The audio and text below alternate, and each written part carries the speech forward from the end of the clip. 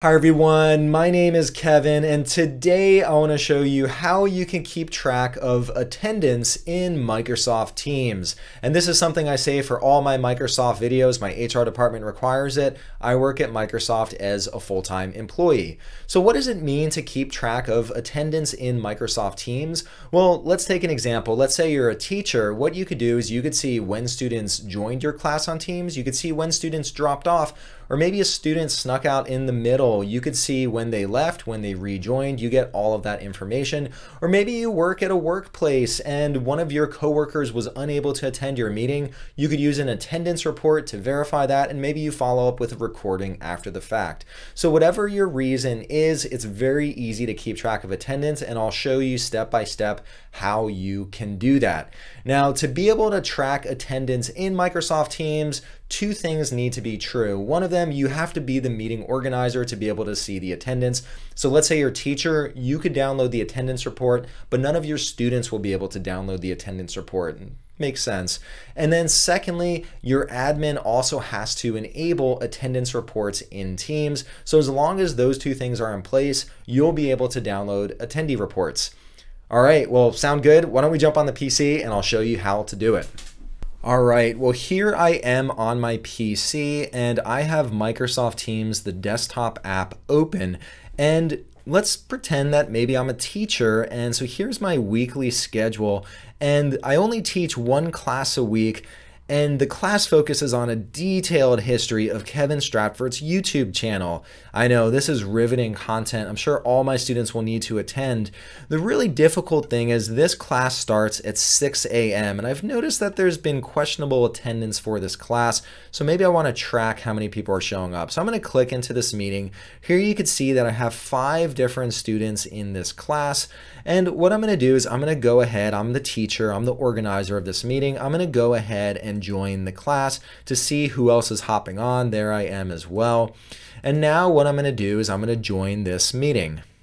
So I am now in the meeting and I'm waiting for other people to join. So what I'm going to do now, so I'm here as the organizer or the teacher. I see no one else is here. What I'm going to do is I'm going to open up a browser window that also has Microsoft Teams open. And this is one of my students for my class. Her name is Emily and she knows that I keep track of attendance. In fact, if she clicks into the calendar invite here, uh, she'll see some message that says, remember, you won't want to miss this lecture as I keep track of attendance.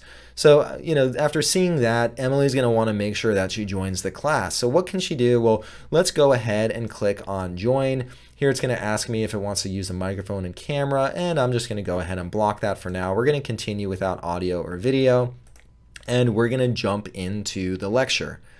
So here now, Emily is in the class, and here I'm going to click on Show Participants. So you can see that we're both in this class now. What I'm going to do now is, let's say that Emily joins for a few moments, and she just really can't stand this subject matter. Uh, so she's actually going to go ahead and drop out of the class. So let's go ahead and drop out. Now I'm going to go back to my view or the professor's view and what we see up here is right now I'm the only attendee left. I see that Emily hopped on and then she dropped right back off. So let's say that, you know, here I can simply look at it and I know that Emily joined, but let's say you have a large class with maybe 50 or 60 people. It'll be hard to keep track of who was there, who wasn't there, if someone came late, someone left early. So what we can do is up here in the people pivot, so if I click on the participant view, up here in the top right hand corner, there's an arrow that faces downwards. And with this arrow, if we hover over it, it says download attendance list. What I'm going to do is let's go ahead and click on this. And what will happen is Teams will download an attendance list file. And it looks like Teams has successfully downloaded it. Now what I'm going to do is I'm going to open up File Explorer, and where Teams puts it is in the Downloads folder. So if I go to Downloads, I'm going to click on that. Here I see that I have a meeting attendance list, and if you download multiple ones of it, it'll simply append the next number in the series here after the title. So I'm going to go ahead, let's click on this report. It's a CSV file, so a comma separated file, and or comma separated values. And so what it's going to do is here it is opening it for me in Microsoft Excel. And so what I'm going to do is I'm going to expand the columns. And here you can see I'm the teacher or the professor, and I joined uh, here at 9.51 p.m. And then I could see that about a minute later, Emily joined. And so here I see that she joined at 9.52. But what I don't understand is why she left my class so quickly. Is my content not interesting enough? Here she left after uh, it looks like it was a little under 20 seconds. And so what this report does, it'll show you when people join, when people leave, and it effectively gives you a way where you can track attendance. So here I'm going to zoom in a little bit and you can see exactly what's entered on this CSV file. What I'm going to do now is I'm actually going to go back and I'm going to rejoin as Emily. And, what I, and I want, what I want to do is I want to show you how, as a student, you're unable to get this same report. So here, Emily is going to rejoin the session and right now she's connecting. And once again, to get the report, you go through the participant view. But in this case now, there's no similar icon here for Emily because Emily's one of the students, and you probably don't want students downloading the attendance reports. You want to limit that to the teacher or to whoever's organizing the meeting.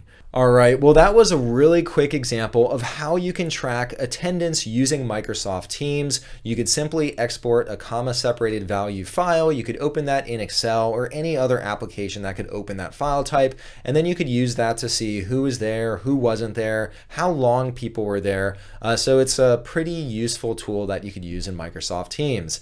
Anyway, if this video helped you learn how you could track attendance in Microsoft Teams, please give this video a thumbs up. If you want to see more videos and tips and tricks like this in the future, hit that subscribe button. That way you'll get a notification anytime new content like this comes out. And lastly, if you want to see me cover any other topics in the future, leave a comment down below and I'll add it to my list of videos to create. All right, well, that's all I had for you today. I hope to see you next time. Bye.